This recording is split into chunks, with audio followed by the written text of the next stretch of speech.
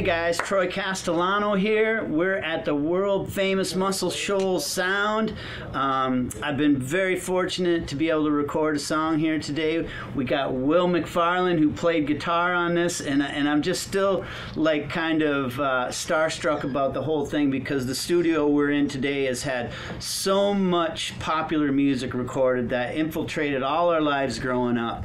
Um, you can just look it up, Muscle Shoals Sound. You're going to find Lynyrd Skynyrd. You're going to find Rod, Rod Stewart, Paul Simon, um, Rolling Stones. I, I'm not going to go on with the list because it's it's it's out there and you can find it. But but today I got Will who's playing guitar on here, and my friend who I wrote the song with, Mark Narmore. Uh, invited you to play on this session today, and I'm like so thankful that you played here. I honestly didn't know a whole lot about you, but I knew you were kind of part of the tail end of the Swampers crew.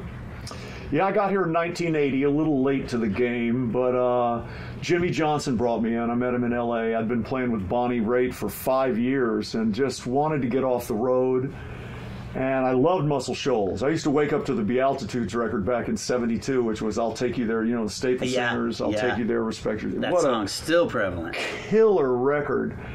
And uh, so I knew their stuff, loved their stuff. It was part of the roots. We, you know, it's like I say jokingly, we all went to different schools together and all loved the same stuff. And and Jimmy just said, "We'd love to have you down here." I met him out there, and he flew me down. We demoed some of my stuff, and I just thought, "Why am I living in L.A.? This is a great place to have a family, raise your kids. Yeah, kids." to raise kids. You know, so I mean, in L.A., you can't get anywhere in two hours. Yeah. And down here, I could get out of an Etta James session, and be standing on third base coaching Little League in 10 minutes. This is why I came here too. I'm from Minnesota originally, um, and that was what uh, an attorney friend of mine said. Troy, you need to be in Nashville, New York, or LA. Wasn't going to raise kids in LA. I'm not a concrete and glass guy, Yeah. and I came to Nashville and I went. This is it. Yeah. I can have a little house on a hillside with a creek rolling through it, and a studio in my backyard. There you go. But but Will, um, yeah, Will played for Bonnie Raitt, Etta James, uh, Delbert McClinton. I mean, there's probably so many more that I don't know about, but you have permeated my ears through my whole life as well. Um, one of the questions I want to ask you is specifically about uh, Muscle Shoals Sound in this room. What what is one of your favorite memories of making music here? Well, actually, when I moved here in 1980, they had left this building and moved down to the river. so this was abandoned, This was abandoned for years. taken over by the mice and Stuff like that. And a couple of people rented it and used it for storage. A couple of people rented it, tried to make it a studio again, but it didn't get off the ground. They were down at the river, which was amazing. A couple of beautiful old Neves, great rooms, Oh, yeah. beautifully designed.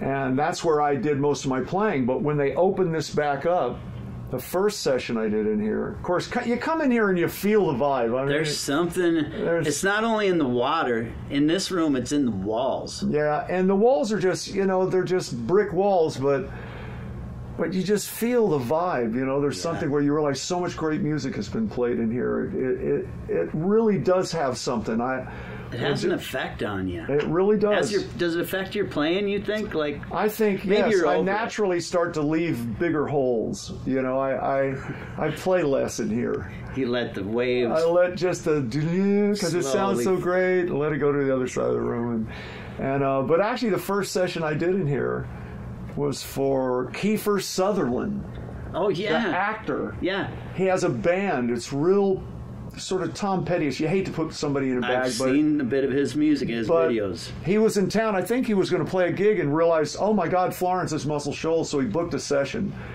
And it was very funny because he was a really nice guy and really humble. At one point, he, he was walking beside me and said, You know, Will, the amount that I don't know about this process is staggering. So any help you can give me. And I'm thinking, My God, this guy saved, this is Jack Bauer. He saves the world every 24 hours. Mr. 24, You know, yeah. he's the designated survivor, but he was a super nice guy, and and we did those sessions, and now we do periodic sessions in here, and I love it every time we do, you Yeah. know, because it it just uh, I sit down, I feel at home, I feel that the rhythm section, who I did get to play with for 20 years, you know, yeah. um, Just legendary players. and they're too. just so dear to me that when I come in here, I realize how much of their blood, sweat, and tears is in this building, and Mm-hmm. it, it just makes me feel a part.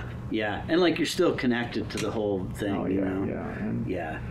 I interrupt tours down here and tell them funny stories. All right, thank you so much, Will. I appreciate it. I mean, It's been a pleasure to meet you, Troy. I'm gonna get together one day and we're just gonna talk guitars. No work involved. Come We'll on down. Yeah. We'll sit in my living room and we'll plug into my little tweeds. I bought a tweed champ when I was on the road with Now- uh, Bonnie and Jackson in 1974. You brought a couple of your go-to workhorses that are just the guitars that you love. Yeah. I'll bring a couple of mine that I've found throughout my lifetime. Maybe. We'll do that. Thank you so We'll much. geek Will. out. All right.